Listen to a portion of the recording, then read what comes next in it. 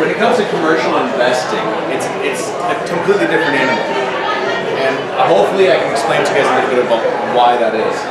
Um, what why we're again investing commercial and we want to start dabbling into it.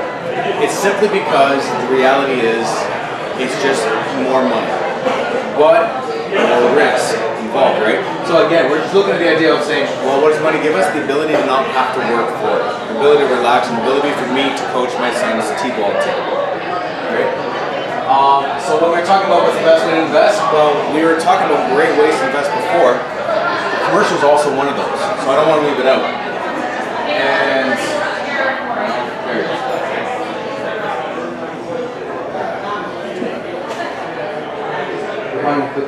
So this slide here, obviously it's the exact same slide as before. The difference with commercial is that we're talking about a whole lot more. Like I said, a whole lot more risk, a whole lot more. So I want to do a bit of a case study here. Forest Street. Okay, this came to us, uh, a realtor in Toronto. He owns it, correct? His client was it. Okay, his client owns it. So I, I, I'm the agent. Off-market deal, technically for the time being still, $377,000. It's a sixplex in Amherstburg. Okay? It's located right pretty much in the core of Amherstburg, and unfortunately Tyler had to leave, but the reality is, in Amherstburg, that's a, that's a good location, it's a nice, safe location, it's, it, it's a good neighborhood. A great blue collar. If you want a blue or white collar, it's a great blue collar one. If you look at the inside pictures, no, it's not completely renovated, but it's a good, you know, it's clean. It's it's it can sustain itself. I guess if you, if you want to say. And the tenants are all long term. So the idea being that you know we had this rental ROI calculator ahead of time before for our residential. What do we do when it comes to commercial, right? So the idea behind when it comes to commercial, how you evaluate it is your net operating income divided by the cap rate, right? That's equal to value. Your cap rate is essentially, you know, the percentage of money you make if you did not use any lenders. If you funded the deal entirely yourself, what's the percentage of return you get? Uh, your NOI is essentially net operating income, which is all its value that you, all the income's coming in minus all of the actual um, expenses you have. This is what he sent us. Okay, don't look at the the insurance numbers a little off, strange, but what he told us is, hey, this is the rent that's coming in right now, a year, minus two percent vacancy, which you would argue is right now that makes sense for Windsor, but it's not a good stress test, right? And then here's all of his expenses. Well, what's lacking in there is specifically, well, where's your ma- where's your management costs, right? Who's running? Who's who's running this? 'Cause I don't want to run this, right? This is commercial business. I don't want to run this. So this is our spreadsheet. Yes, a lot more com- uh, complex. You may not be able to see the details exactly, but what we've added to it was at the moment we put a four percent vacancy. And we could probably push it up a little bit more if we wanted to. We put a four percent vacancy. I also put an eight percent management fee. Right, and we went looking through things and like, are these numbers realistic on his numbers? And what would our numbers be? So we tried to, you know, this is what we think it makes sense. We came up, this is before we even go look at the property, we came up with a net operating income of 21000 His was 27000 We feel that it's really creating an income of $21,000 a year. Okay. Now, what does that mean? Because if we look at it, if we're purchasing at 377000 and we're making $21,000 $21,000 a year, what that is is a cap rate of 5.72. Okay, that's, you know, Amherstburg's between a five and a half to uh, seven. That's not bad. We feel that the rents are a little on the low side. The property could use some maintenance. So having a low cap is not a big deal, right? Because we can we can raise the rents. Here is the kicker. Okay, so the numbers made sense. We said the reason why we didn't take this deal was because I'm sorry, I don't have three hundred seventy-seven thousand dollars. I need to bring a lender in. So I'm going to get a bank involved. And the banks, we always put them at, they're going to give us 65% of the, of the value. They're going to be at about 4% interest rate. And once that's all said and done, the amount of money we're actually making is $5,000 on this property. Um, a year. $5,000 a year. On a 300,000, maybe it was about, I think maybe it was a $7,000, something like that.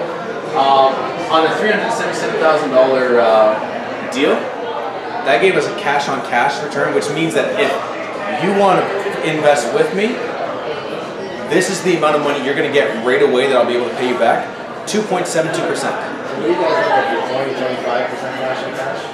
No, hold on. We can, we can get with we can get away with eight percent, seven percent, but we also include equity in the deal, right? But are you willing to go at two point seven two percent? You Little lower. So, so it doesn't make so much sense. Now I'm going to explain to you why this deal deal makes sense, but not for everybody, right? And it wasn't for us, but we can appreciate why it made sense for many other investors. Okay. So what we did is said, all right, well, this is a five-year plan, right? We saw that the rents were a little on the low side. Why? Because the properties were also starting to be a little dated. So if over time we start to keep improving the properties as we went along in a five-year plan, we could probably increase those properties, uh, the rents by 30%.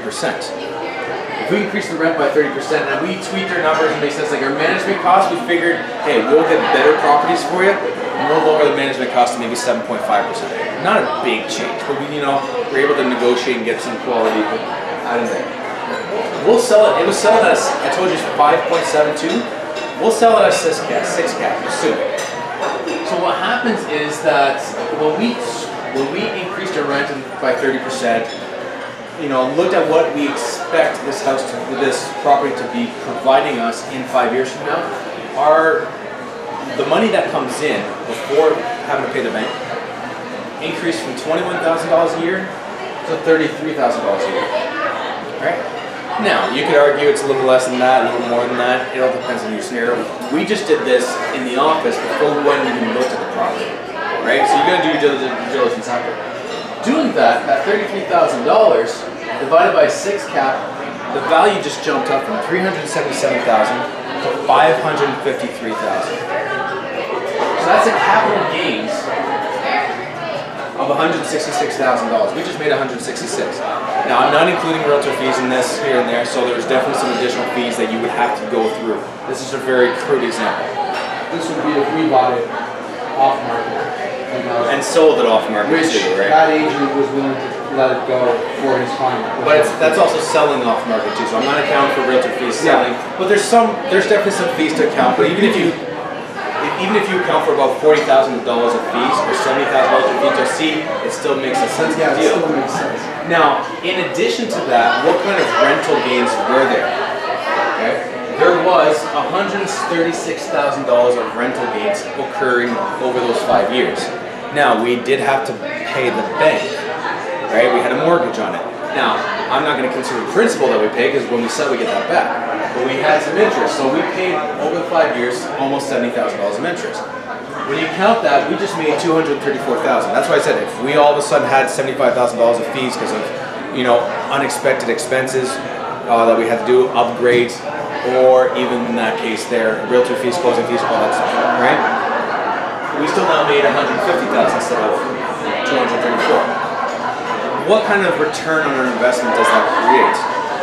The original investment in this case here was 35% because the bank was covering 65. 35% of 377, which was uh, 141,000. That's what somebody had to put in, 141. You just made 234. Your ROI over five years is 160%, and your annual rate of return is 21.55%. So you who didn't want to invest this at 2.72 just lost out on 21.55%. Right? You can argue, and rightfully so, that that number is probably going to be closer to 15% because some fees that we missed out here there. But that was just a crude real quick. Right?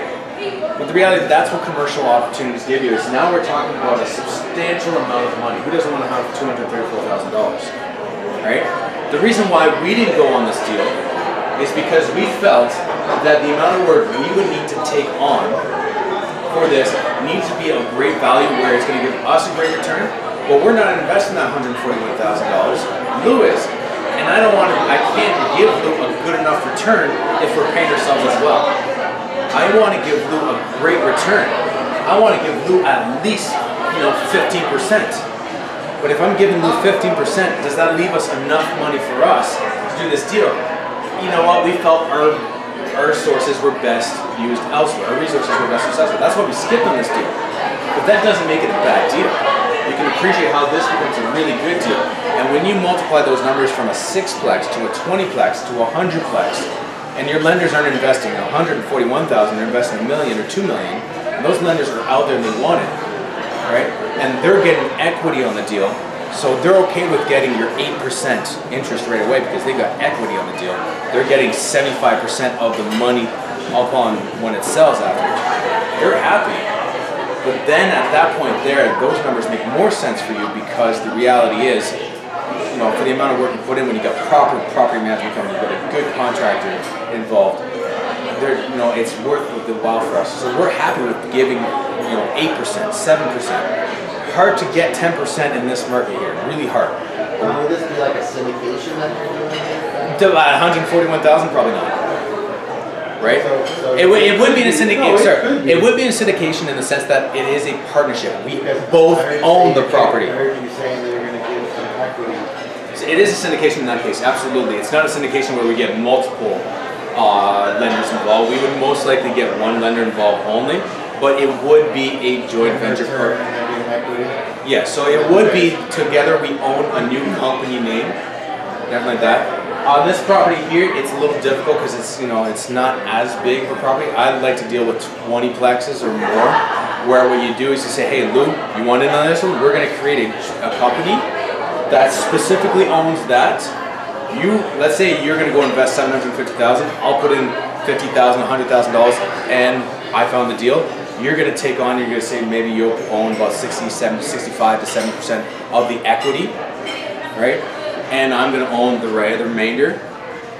And some uh, there's maybe an eight percent cash on cash at the moment, right? You look at the number, and says, well, it's not a great return off the bat. I can put my money elsewhere up front. It's upon the sale or the refinance that that's where all of a sudden it's really of value for you to get into. So yes, it would be definitely a syndication.